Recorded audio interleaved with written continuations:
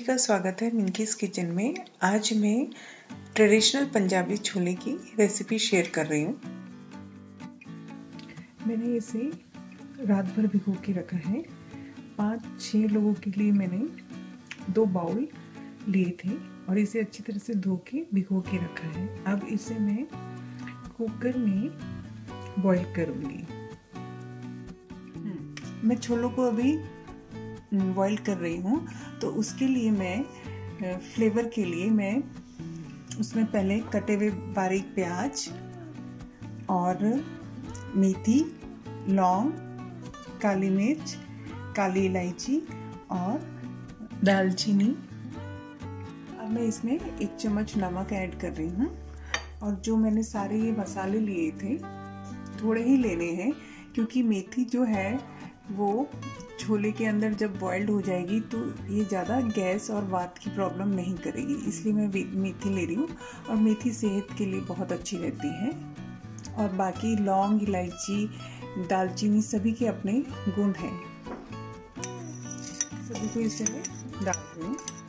थोड़ा ही लेना है और मैंने दो प्याज कट किए हैं और छोटे छोटे लिए हैं, बारीक कट किए हैं इसे।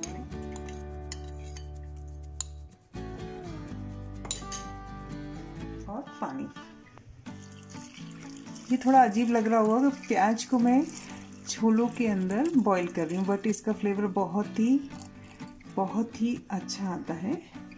मेरे जो छोले थे, छोले इतने हैं, उससे थोड़ा ऊपर तक पानी लिया है, जिससे कि ये अच्छी तरह से बॉईल हो जाए। अब इसे हम ढककर तीन चार विसल देंगे अच्छे से, जिसमें ये पक जाएगा। मैंने चने बॉईल कर लिए हैं। अभी उसे तड़का मारने के लिए मैंने जो इंग्रेडिएंट्स लिए हैं, उसमें मैंने लिए हैं हरी मिर्च। उसे आप कैसे भी काट सकते हैं। मैंने थोड़ी लंबी काटी है। अदरक, लहसुन और चना मसाला। और मैंने इमली इसे भिगो के रखी थी। थोड़ी सी टमाटर। टमाटर दो मैंने ग्राइंड किए हैं। हींग। सबसे पहले मैं तेल डालूँगी। दो चम्मच तकरीबन तेल डालेंगे। गरम तेल में मैंने थोड़ी हींग डाली है। अब जीरा एक स्पून। हरी मिर्च जो हमने काटी।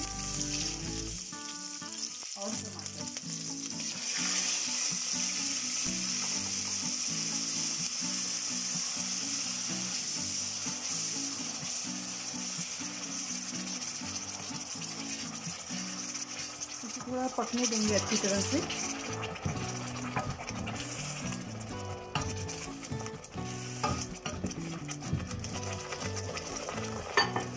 साथ में ही हम इसमें थोड़ा नमक ऐड कर देंगे। मैं आधा चम्मच ले रही हूँ। पहले मैंने बॉईल करते हुए चनों में नमक ऑलरेडी लिया है।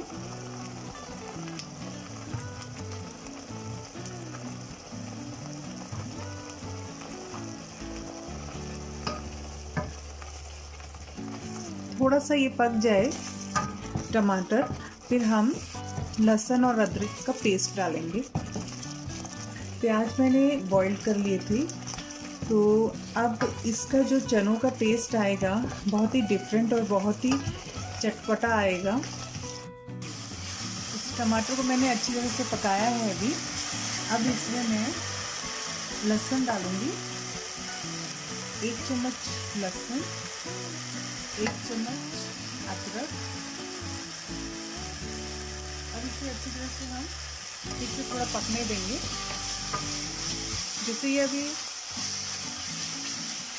थोड़ा नीचे लग रहा है तो हम ग्राइंड किया हुआ जो रहता है टमाटर का बाकी जो मिक्सर में, हम उसमें थोड़ा पानी डाल के ऐड कर सकते हैं इसमें।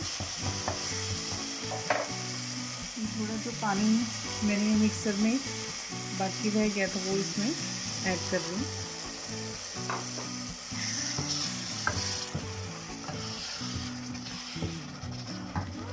अब इसके साथ में मैं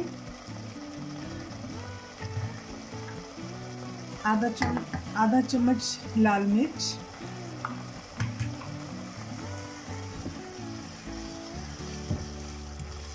मसाले थोड़े धीरे धीरे डालने हैं, क्योंकि जब ये लहसुन अदरक अच्छी तरह से पक जाएगा, तभी हम मिर्च वगैरह डालेंगे तो उसका थोड़ा फ्लेवर अच्छा ताज़ा फ्रेश रहता है। इसे दो मिनट अच्छी तरह से घुमाइए। लहसुन अदरक जो मैंने अभी मिक्स किया था, वो अच्छी तरह से भून गया है। अब इसमें मैं दो चम्मच जो मैंने इमली भिगो के रखी थी, वो डालूँगी।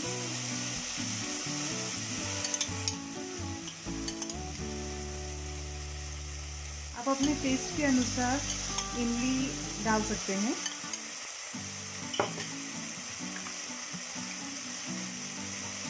अब ये मसाला, दो चम्मच। गरम मसाला है, जो चना मसाला बोल सकते हैं उसे। इसे अच्छी तरह से मिक्स कर थोड़ा पानी और ऐड करेंगे।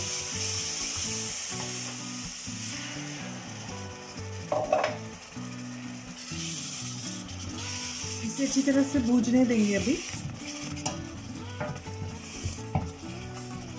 बस दो मिनट अच्छी तरह से और मिक्स करना है।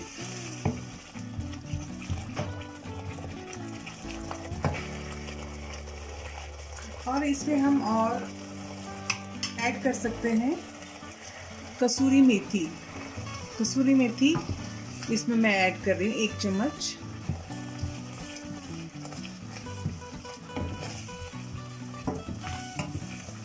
थोड़ा इसका फ्लेम कम किया है मैंने, धीमी आँच की है थोड़ी। मसाला अच्छी तरह से भूज गया है अभी तो मैं इसमें बॉइल किए हुए चने मिक्स करूँगी। ये देखिए, प्याज के साथ ही करना है।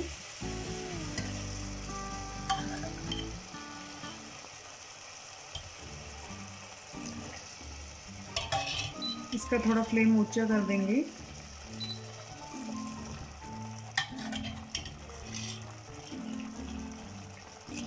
इसका पानी जो बॉईल किया हुआ है हमने साथ में उसे बाद में लेंगे। पहले हम इसे चनों को ले लेंगे।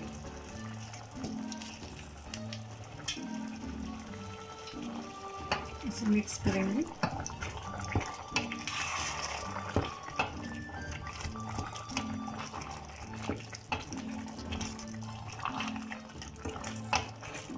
इसे पाँच मिनट तक हम ऐसे बॉईल करेंगे और उसे थोड़ी देर के लिए ढक के रख देंगे।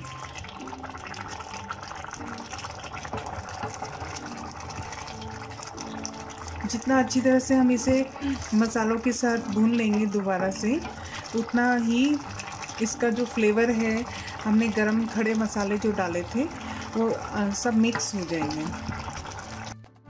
इसमें मैं लास्ट में काली मिर्च ऐड कर रही हूँ, जो इसका फ्लेवर बहुत ही अच्छा देगी।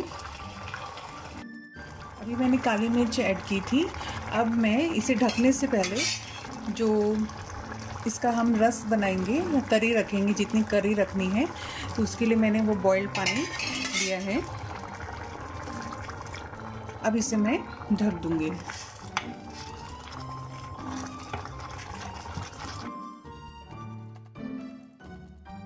मिनट तक हम इसे अच्छी तरह से बॉईल करेंगे। अब देखिए, ये ऑलमोस्ट रेडी है।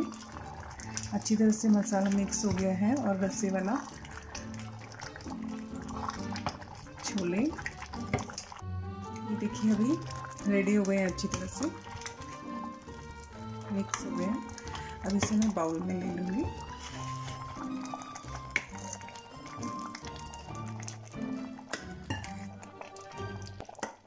ये जो मैंने लंबी हरी मिर्च जो है लंबी काटी थी, वो जब मुँह में आती है, खाते वक्त बहुत ही टेस्टी लगती है।